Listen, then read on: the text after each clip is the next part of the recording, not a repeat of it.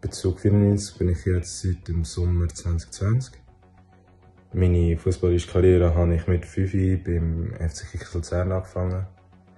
Dort habe ich sieben Jahre gespielt und bin dann zu Luzern gewechselt in die U13. Dort habe ich meine Nachwuchsausbildung gemacht, ähm, neun Jahre lang. Dann bin ich zum SCK. Und ja, seit dem letzten Sommer bin ich da.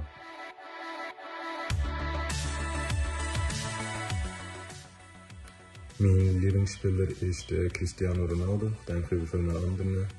Ähm, mir vor allem wegen seiner Einstellung, die er hat zum Fußball, dass er ähm, ja, nach 15 Jahren immer noch Motivation hat, ähm, immer besser zu werden jeden Tag und alles auch dafür macht.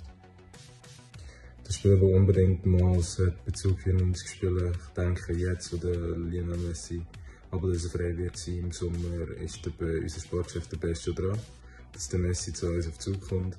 Ähm, ich denke, ja, für die Zuschauer wäre es toll, wenn sie ihn live erleben können im Stadion. Und für uns Mitspieler, ich denke mir nur schon, wenn ich mir vorstelle, wenn ich in der Verteidigung spiele und dem Messi den Ball gebe an der Mittellinie und er ein Dribbling ansetzt bis in 16 und das Goal schießt, hat er sicher auch Freude, wenn ich das kann verfolgen kann. Mein Lieblingsverein ist Manchester United. Ich so seit klein auf. Ich weiss noch, die erste Ringe, die ich von ihnen habe, ist in dem Champions League Spiel. Die Gegner weiss ich nicht mehr, aber ich weiss noch, dass sie gewonnen haben am Schluss und das ist das einzige, was zählt.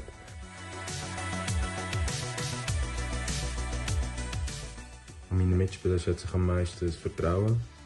Ich denke, das ist wichtig für jeden einzelnen Spieler, dass er Vertrauen hat für seine Teamkollegen ähm, und auch als Team, dass man das Vertrauen hat ineinander. Weil nur so kann man in schwierigen Situationen im Spiel, wenn es mal nicht läuft, ähm, ja, bestehen und nur so kann man Erfolg haben.